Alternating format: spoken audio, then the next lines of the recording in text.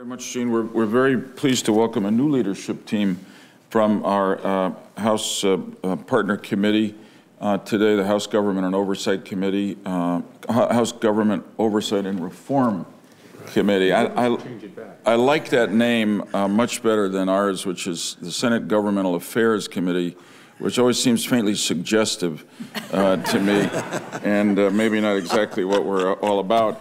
Um, but uh, first, uh, a real honor to call on a, on, a, on a, longtime friend and great public servant, the new chairman of the House Committee, uh, Congressman Ed Towns of New York. Thank you.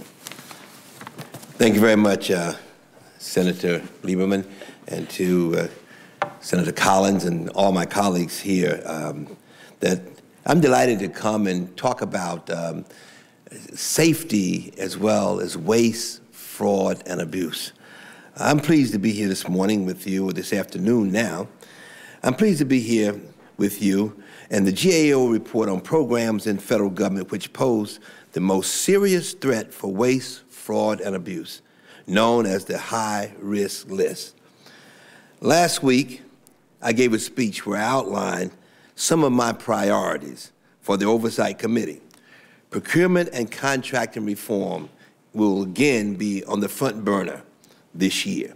I plan to reintroduce a bill written last Congress in cooperation with then Senator Obama, now President Obama. This bill would prevent tax delinquent contracting firms from getting new federal contracts. I plan to review the suspension and debarment system to understand how poor performers and fraudulent contractors continue to receive work from the federal government. I will review possible reorganization of government financial regulators so that we are not choosing winners and losers in the marketplace, but providing a framework that clearly defines the rules of the game for all participants and to make certain that it is a level playing field. I also intend to stay active in conversations about health care reform and issues surrounding food safety, FDA reform, and efficiency and accountability in the Medicare and Medicaid system. Of course, these topics again appear in the GAO report being released today. The issues that GAO has identified will be among the highest priorities of the Oversight Committee. We come together here today after President Obama's inauguration. It is an exciting time in Washington. The President has pledged to take a hard look at what works and what does not work in our government. Congress and GAO can be his allies in this task. Another ally is here with me today, Darrell Issa, the ranking member of the Oversight Committee. I am pleased that we have developed such a strong working relationship in the early weeks of this Congress. We share the goals of making government more responsive and more effective, and we will continue to work together with that goal in mind.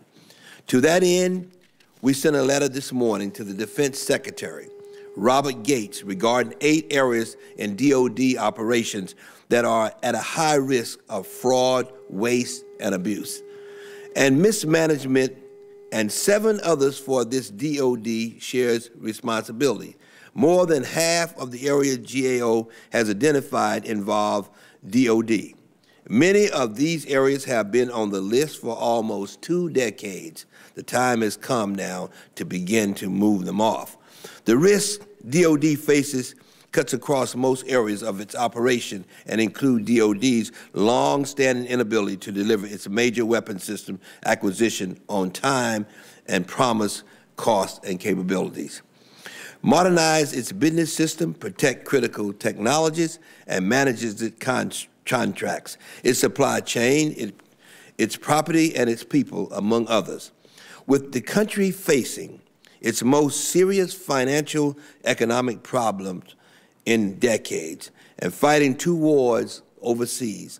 We cannot afford for the department to get less than the maximum value from the resources the Congress and the American taxpayer provided. That is why we have asked Secretary Gates to meet with us to discuss why the department has not been able to resolve these serious and costly problems, and to discuss a concrete plan with specific, specific timeframes to implement GAO's recommendations. We'll be asking for similar meetings from other cabinet level officials about projects within their area of responsibility that appears on the high risk list.